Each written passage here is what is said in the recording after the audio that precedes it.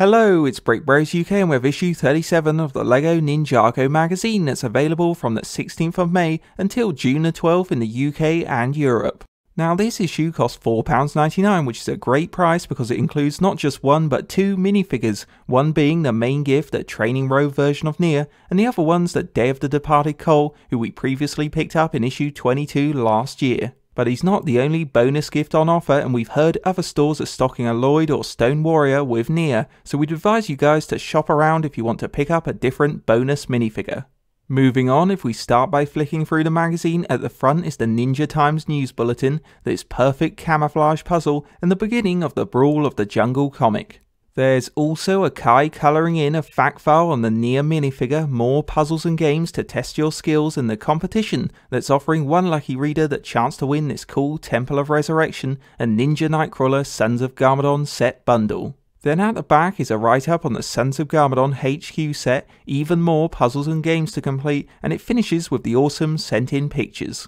So the magazine is an excellent read, packed full of the latest Sons of Garmadon content, but if all that wasn't enough, there's a pull-out double-sided poster as well, featuring this Nya, the Water Ninja image on one side. And on the reverse is this epic ninja versus the Sons of Garmadon that's definitely our favourite of the two. Next up is the bonus minifigure gift, The Day of the Departed Cole from issue 22, who like we mentioned before is a minifigure we've already reviewed. So we've decided not to go over him again in this video, but we'll put a link to our issue 22 video at the end and in the description below if you want to see more of this character. Following on from Cole, it's time to check out the main gift, the black training robe Nya, who as you can see comes sealed in this silver packet that shows off the ninja in an action pose, and she's a limited edition version we can't get anywhere else which is great, so let's open this up and get her built. And here's Nya. Now you've probably already guessed her black training robes are the exact same ones the recent Lloyd gift and some of the other ninja wear in polybags, so they have nice gold details front and back.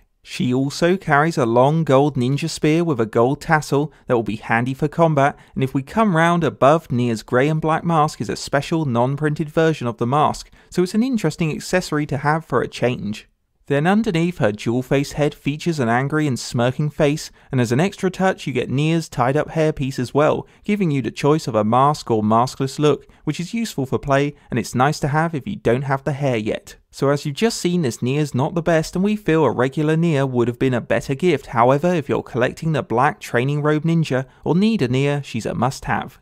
On a final note then, issue 37 of the LEGO Ninjago magazine is worth every penny in our opinion, because you're basically getting two minifigure gifts for the price of one. On the downside though, we admit that Training Robe Nya is not the most exciting gift we've ever got in these magazines and you might have to shop around to find a bonus you need, but you'll be getting a lot of decent accessories that could always be used as good values spares on your other minifigures, so it's a win-win all round for your Ninjago collection and wallet. You also get to enjoy an excellent magazine with a comic, news, fact files, competition, and many puzzles and games all based on the Sons of Garmadon season that will keep you busy for ages, and the double sided posters are decent extra for your bedroom wall as well. So, overall, we'd highly recommend this issue for the bargain double minifigures.